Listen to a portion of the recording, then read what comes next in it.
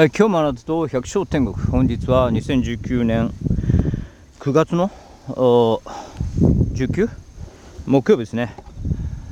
はあさて、えー、ということでね、えー、なんとか昨日ね、えー、電気がね取りまして、えー、久しぶりに何日ぶりでしょう？1週間以上かな？ぶりにお風呂に入りました。ね。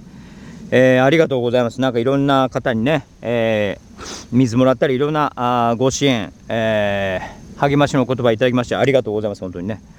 ようやく人間らしいくるあの暮らしが戻ってきまして、えー、まあそんなことでね、今日も朝から天気がよくね、はい、綺麗な青空、えー、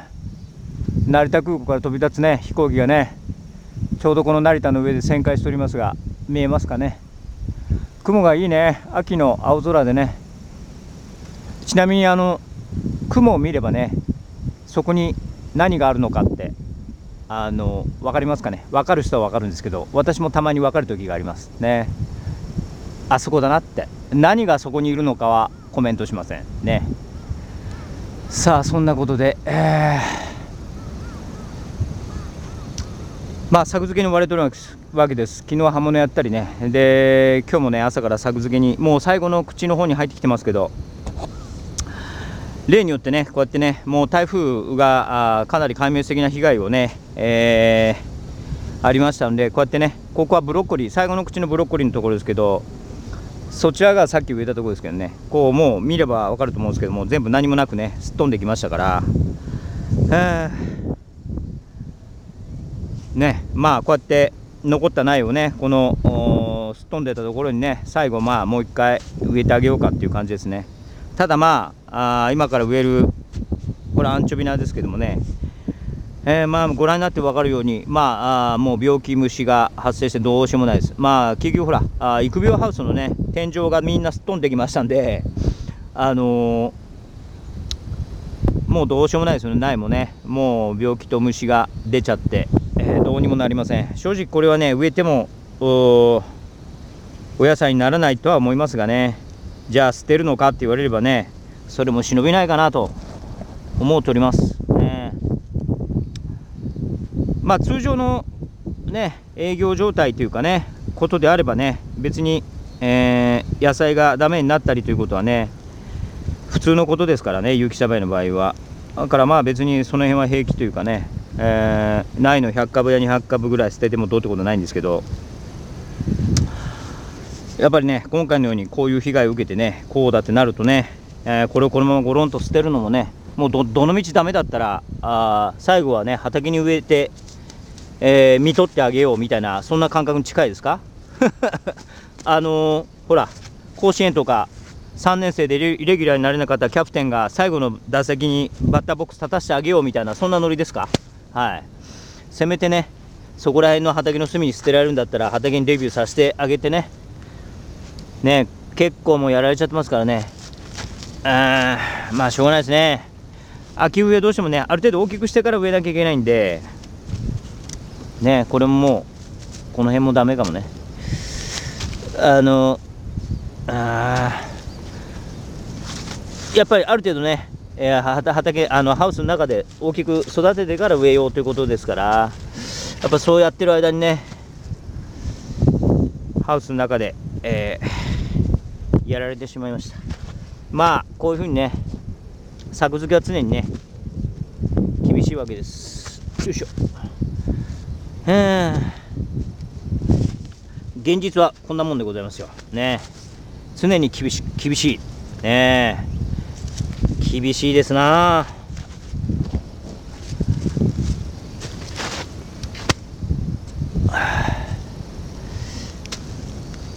昨日とかね、あの多分同じ有機農家さん仲間に野菜何もないなら余ってる野菜ね、えー、着払いで送りましょうかってね、えー、お申し出いただきましたけどもね、ありがとうございますね。まあね、そうやらないようにね、自前で全てを今までね、やってきましたんでね、ほぼね。まあ今後そう面白いありがたいですけどもねお金もないですしお金もないというかねもう今更そのまたねマイナスの要素を出すことはできない。なんとかねこれでしのいでいくしかないんですよね。よいしょちゅうことで、いや正直この苗を植えてもしょうがないかなっていうのはありますけど、厳しいね。空美しいね。今日の青空また一段と美しいと思いますよ。ねえ。染み渡りますな。よいしょ。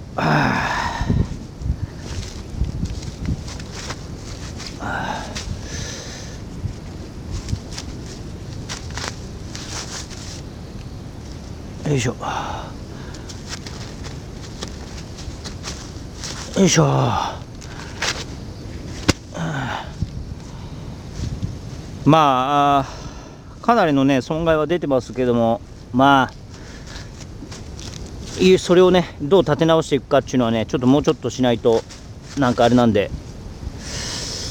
えー、っと多分ね、えー、もうちょっと落ち着いたらあちょっと私も今ね、えー、かなりバタバタしておりますんで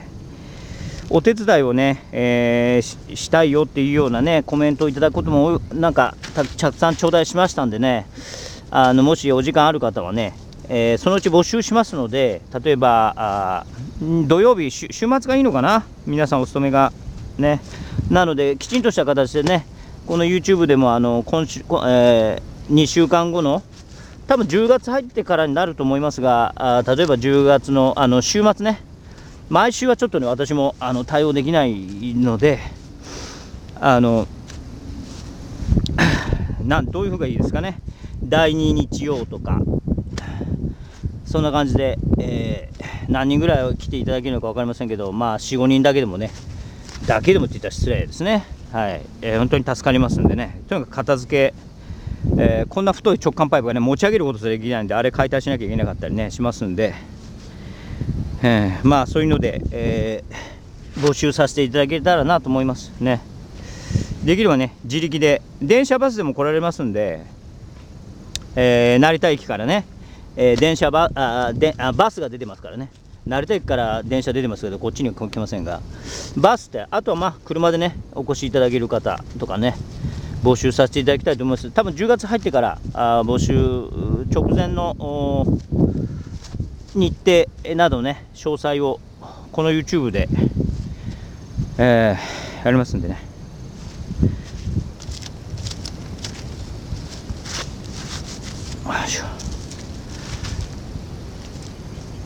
ご飯とかがねちょっとね申し訳ないですけどちょっとイベントみたいにカレー作ったりとかちょっとできませんのでね、えー、自前で持ってきていただいて本当はねみんなで輪を囲んでねなんかカレーでも旅は楽しいんでしょうけどちょっとねごめんなさい。それは今やってるのはめんどくさいです。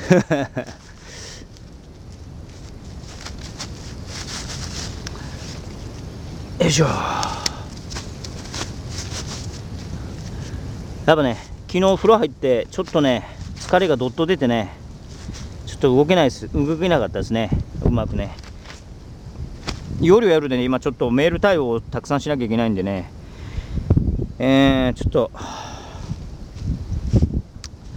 まあ難しいところですね。嬉しい悲鳴というか、まあ野菜があるかどうかギリギリ、まあなんとかね、じゃがいも、来週さつまいも掘りますか。ねえ。そんな感じで、でも里芋もね、どうせ葉っぱ全部ちぎりなんで、さつまいも、あ、じゃ、里芋も10 11月、10月入ってもう掘ってしまいますかね。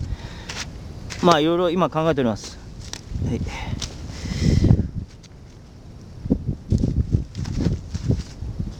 里芋とかね手伝ってもらったらいいかな。里芋を運ぶのは大変だよね。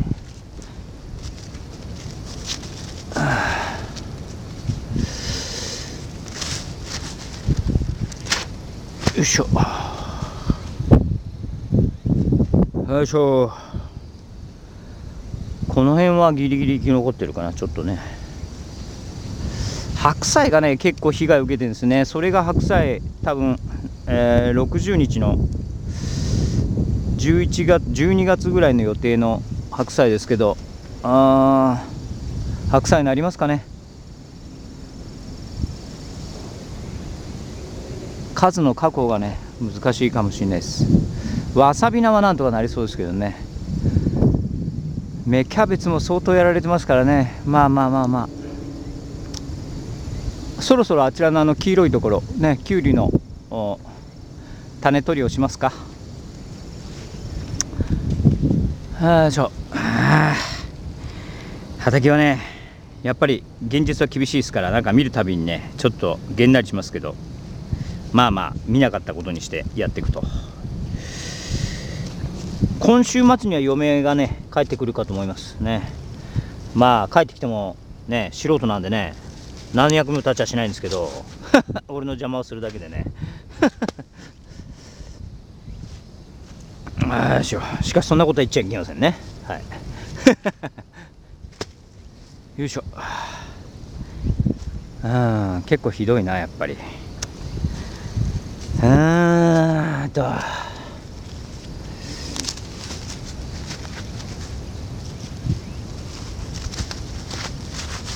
いしょ。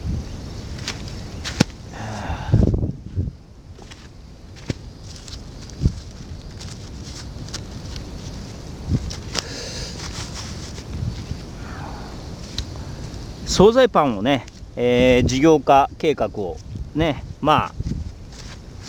ああの始めてるわけですけどまあ今の段階はまだね、えー、具体的なところに着手してないんでえー、パン焼きもねちょっとねこんな状況なので、えー、まあイースト菌を使ってね、えー、ずっとなんか何回か焼きましてでまあパン屋さんのね、えそのプロのカレーの助言だとある程度数を作ってねこなしていくにはあもちろんイースト菌のねパンだとまあ安定しますよってことでやったんですけどやっぱりねイースト菌のパンをね、えいくらどのようにこうなんか、えいろんな形でこう焼いてみたりしたんですけどやっぱりえー、それなりなんですね、やっぱりね。で、おそらく、うん、これだと生き残れないなというのが結論です。なので、やっぱり、えー、金を変えてね、その彼が言ってるような、そういうちょちょっと特別なね、最近はいろいろあるんですよね、ビールだとか、あ何ですか、はい、いろいろあるみたいですけども、やっぱりその天然酵母を使って、でやっぱりあの安定が難しいんですよね。あの40度ぐらいのこの容器の中にね、パン屋さんみんな持ってるらしいんですけど、ブクブクブクブクこう泡立ててね発酵させてそれをこう、えー、そこから菌を取るんですけどあの、やっぱその管理も含めてね毎日ね、えー、湿度も違うし気温も違うしという中でねそれを安定させて菌をねこうやっていくっていうのはやっぱり難しいみたいです。まだそそれ話聞いた段階だけなのでね。ただやっぱり味を追求しないとねもう生き残ることはできないと思いますんでやっぱり天然酵母で、えー、パンを焼いてみたいなと。まだ現在はね、えー、素人段階ですからそういったのんきなことを言っておりますが。で多分ねあのこういうしんどい時はねそういう未来まだ3年後か5年後かにその実際のお店を出すつもりではあるわけですけどもどんな形にしようかなというふうに思っていておそらくこの事業のねポイントはね、惣菜パン専門店っていうのを出すとしてパンを焼いてで野菜を作って、えー、いやそう野菜を挟んでね、えー、野菜サンドとして売り出すわけですけども、えー、多分ね、えー、おそらくその作る工場ですよね。工場というか工場というか、えー、おそらくスタッフがね、えー、10人ぐらいで多分女性の方がね手先が器用でいいかと思うんですがその人をねお手伝いいただいて、えー、作ることになるかと思うんですけど。よいしょ。あこれもね結構ひどいんだよな。植えるか。まあ植えるしかないね。どういうね形にしようかと思うわけですけどやっぱり昨日つらつら考えてましてやっぱりそういう工場というかね工場というかそういう労働のね一つのね問題点僕が問題点だと思ってるのはね流れ作業だってことですよね。でね私自身も派遣でいろいろなところね半導体作ったりいろんなこあの車のモーター作ったりとかそういう若い頃ね派遣作業をしましたから分かるんですけど流れ作業ってねやっぱり絶対あの愛情なんかこもらないんですよね。特に人の食べ物をね作る。たとえそれをねこうやってこう流れてきてこうきゅうりを乗せる人とかねなんかミニトマトの乗せる人こうやってやってそれがこうどんどん流れていって最終的に完成するっていうのがね流れ作業。でおそらくその効率的なんでしょうけど多分それをやるとねダメなんだろうっていうふうに今考えてます。そうじゃなくって、えー、10品目のね10種類の、えー、メニューがあるとするとそれに関してね、えー最初からその、まあ、バンズパンは焼きますけどもその具材を乗せてね最終的にそのドレッシングかけて完成させるところまでを1人の人に責任を持ってやっていただくと。でそれをね私が作りましたって言ってその人のおばその女性の方のねお名前と顔写真をそのメニューにあの貼り付けるぐらいの感じで要するにそのことに関してそのコミットしてもらうというようなね。でおそらくそれの方がねだからあのやりがいがあるんじゃないかなっていうふうに思うんですよね。だからそういう少数精鋭の形で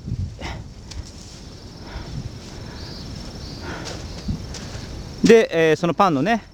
あの1個売れたらそのパンの中でのそのいくら売った中できあのいくらっていうような形のその契約に、ね、すればいいんじゃないかなっていうふうに今はねまあまあ気楽に考えてますよ。だからどちらかというとおそらくねあのその少数生のね10人ぐらいのパートのおばちゃんたち、ね、のチームがおそらく一番も多分大事なんじゃないかなっていうふうに思います結局は食べた時にお客さんがこれに関してね愛情を感じて美味しいと思うかどうかっていうところなんですよね。そうじゃないと多分ね生き残れない。もうそんな甘っちょろい時代ではないというふうに私は思っていまして。ね。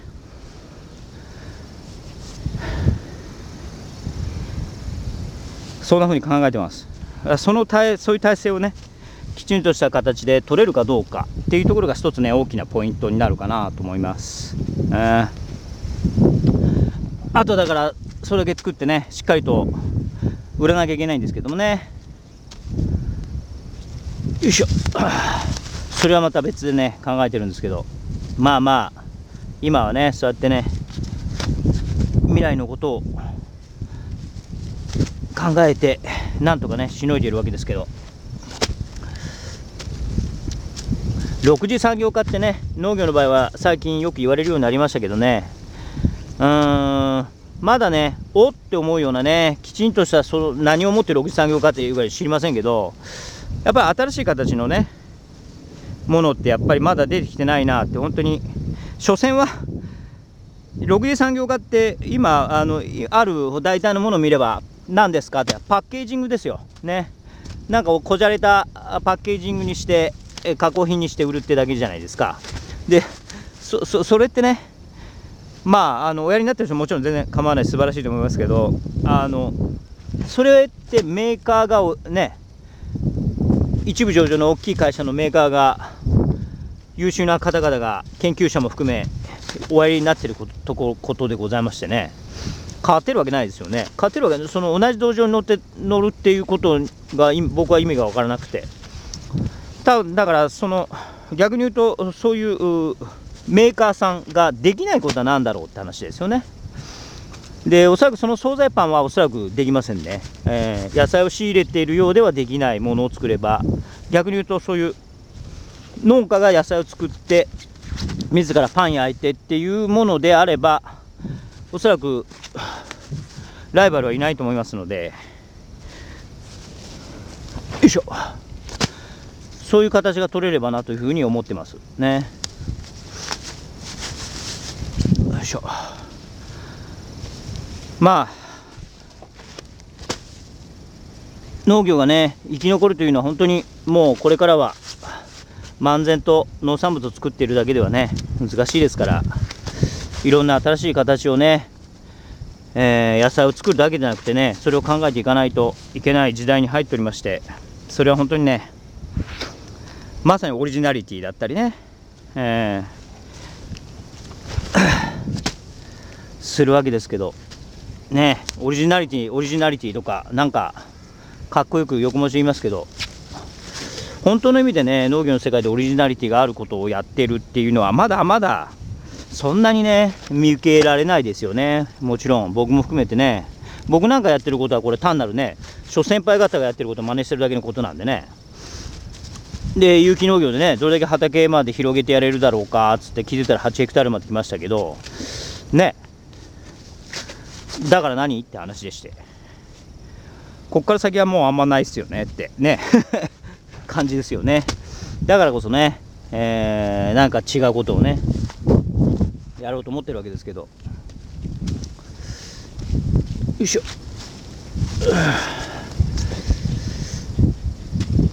はあ。まあ、オーガニックカフェはね、もうやるつもりはないですね。えー、おそらくその時代は終わったかなっていう気がしてます。えー、それはもう何？あのいわゆる最近はね、コーヒー屋さん、ね、いろんなコーヒー大手のスターバックスもはじめいろいろあるじゃないですか。結局そこには勝てないし、全くジャンルは違ったとしてもね、えー、多分オーガニックカフェが生き残るというのはかなり難しいと思いますね。うん、ごあの農家が自宅でやったりとか固定固定費がねほとんどない状態であればある程度ね道の駅とかそういうところで多分やればいいんでしょうけど全くね、えー、新しいところで、えー、家賃の高いね都内だとかでオーガニックカフェを展開するっていうのは多分ね難しいと思いますね。まあ言うほどまだこの国にはオーガニックっていうのは根付いてないですね。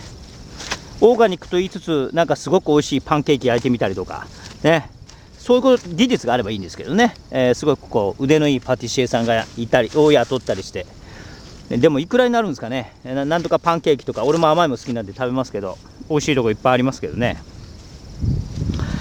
パンケーキを食う人は別にオーガニックって気にしてるわけじゃないでしょうからね、えー、まあまあそんなことで、えー、結局のところね、えセブンイレブンのなんか商品開発の人の講座って昔去年から行ったことあるんですけど、えー、はっきり言ってましたね。オーガニックはあというコンセプトではあ集客はできませんってね。あまあその通りでしょうね。残念ながらそうです。まだね現状においてはね。よいしょ。さあどんどんくっちゃべってますけど。まあまあそんなことでね何の話かちょっと分かります分からなくなりましたが。よいしょ。なんかちょっとねなんか一個一個をねなんか棺桶にこう入れてあげてるようなね埋葬してるような感じで このアンチョビナをね植え付けていってるのでねちょっと気がめいてくるね。うん。まあお前ら何個かね生き残ってアンチョビナになれよと言いたいところです。ああ昨日はちょっと元気でしたが今日は畑をね現実的に見て日常にこう戻ってくると日常的なそのいわゆるねプロ有機農家としての視点ももちろんね通常にこう合ってくるじゃないですか。それで見るとねもうボロボロでございます。この現状のね我が農園の畑はね。いやいや。どうしたもんかね。ということでございました。以上です。